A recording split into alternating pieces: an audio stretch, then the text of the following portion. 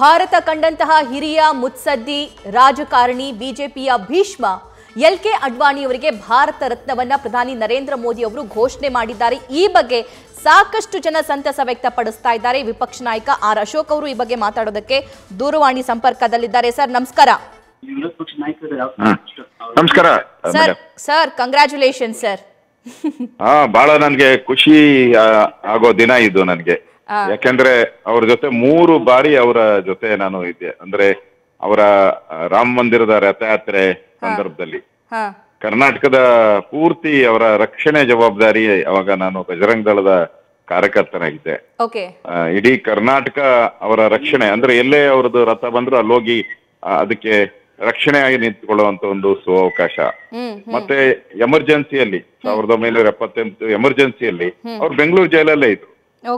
So ನಾನು ಕೂಡ ಆ ಸಂದರ್ಭದಲ್ಲಿ ಸ್ಟೂಡೆಂಟ್ ಲೀಡರ್ ಆಗಿದ್ದೆ ವಿಪುರಂ ಕಾಲೇಜಿನದ್ದು ಹೋರಾಟ ಮಾಡಿ ನಾನು ಕೂಡ ಅರೆಸ್ಟ್ ಆಗಿದ್ದೆ. ಅವಾಗನು ಕೂಡ ಅದ್ವಾನಿ ಅವ್ರ ಜೊತೆ ನಾನು ಬೆಂಗಳೂರು ಸೆಂಟ್ರಲ್ ಜೈಲಲ್ಲಿದ್ದೆ ಇದ್ದೆ ಮತ್ತೊಂದು ಪ್ರಕರಣ ಅಯೋಧ್ಯೆ ರಾಮ ಮಂದಿರ ಕರ್ಸೇವೆಯಲ್ಲಿ ನಾನು ಹೋಗಿದ್ದೆ ಅವಾಗ. ಇಪ್ಪತ್ತೊಂದು ದಿನ ನಾನು ಕರ್ಸೇವೆ ಅಯೋಧ್ಯೆಯಲ್ಲಿದ್ದೆ. ಈ ಮೂರು ಸಂದರ್ಭದಲ್ಲಿ ಅದ್ವಾನಿ ಅವ್ರ ಜೊತೆ ಇದ್ದಂತ ಒಂದು ಅವರ ಸೇವೆ ಮಾಡುವಂತ ಒಂದು ಅವಕಾಶ ನನಗೆ ಸಿಕ್ಕಿತ್ತು. ಪುಣ್ಯ ಇವತ್ತು.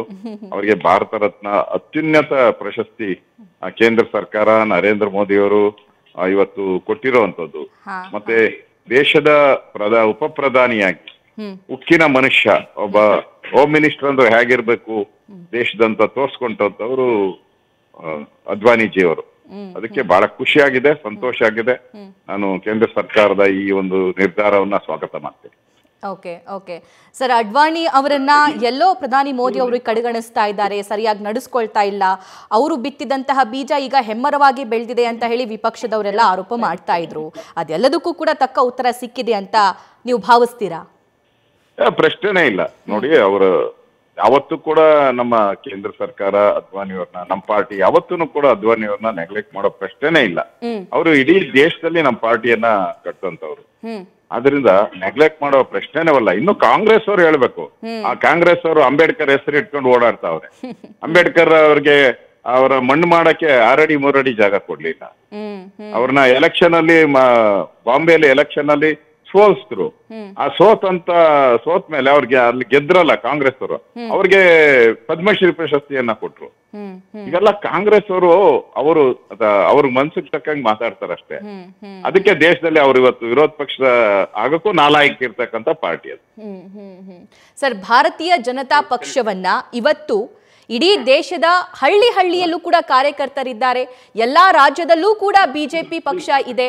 ಎಲ್ಲಾ ರಾಜ್ಯದಲ್ಲೂ ಕೂಡ ಬಿಜೆಪಿ ಶಾಸಕರು ನಾಯಕರು ಇದ್ದಾರೆ ಅಂತಂದ್ರೆ ವಾಜಪೇಯಿ ಅವರು ಮತ್ತು ಅಡ್ವಾಣಿ ಅವರು ಬಿತ್ತಿದಂತಹ ಆ ಬೀಜನೇ ಈಗ ಹೆಮ್ಮರವಾಗಿ ಬೆಳೆದಿದೆ ಅಂತ ಅನ್ಸುತ್ತೆ.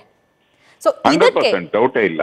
ಅವರ ಆಶೀರ್ವಾದ ಅವರ ಆಶೀರ್ವಾದದಿಂದನೇ ಇವತ್ತು ಬಿಜೆಪಿ ಇಷ್ಟೊಂದು ಹೆಮ್ಮರವಾಗಿ ಆಲದ ಮರವಾಗಿ ಬರ್ತಿದೆ. ಅವರ ಸೇವೆಯನ್ನ ಬಿಜೆಪಿ ಎಲ್ಲಾ ಕಾರ್ಯಕರ್ತರು ನೆನಪನ್ನ ಮಾಡ್ತಾರೆ thank you right right sir ಧನ್ಯವಾದ. ಇಷ್ಟೊತ್ತು ನ್ಯೂಸ್ ಫಸ್ಟ್ ಜೊತೆ ಮಾತನಾಡಿದ್ದಕ್ಕೆ ವಿಪಕ್ಷ ನಾಯಕ ಆರ್ ಅಶೋಕ್ ಅವರು ಮಾತಾಡ್ತಾ ಇದ್ರು.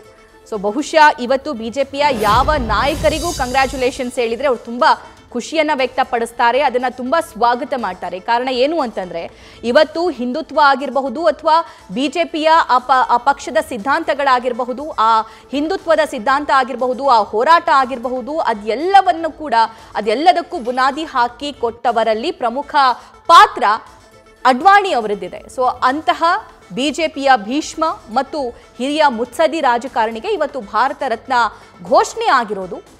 ಬಿಜೆಪಿಯ ಬೇರೆ ಬೇರೆ ಕಾರ್ಯಕರ್ತರಿಗೆ ಭಾರತ ರತ್ನ ಸಿಕ್ಕಿದೆಯೇನೋ ಅನ್ನುವಂತಹ ಖುಷಿ ಅವರಲ್ಲಿದೆ. ಯಾಕಂದ್ರೆ ಅಯೋಧ್ಯೆ ಹೋರಾಟ ಆಗಿರಬಹುದು ಅಥವಾ ಬಿಜೆಪಿ ಪಕ್ಷ ಮುಳುಗ್ತಾ ಇದೆ ಅನ್ನುವಂತಹ ಸಂದರ್ಭದಲ್ಲಿ ಮತ್ತೆ ಅದನ್ನ ಚಾಲೆಂಜಿಂಗ್ ಆಗಿ ಕಟ್ಟಿ ಬೆಳೆಸಿರುವಂತಹ ಉದಾಹರಣೆ ಆಗಿರಬಹುದು. ಇದೆಲ್ಲದಕ್ಕೂ ಕೂಡ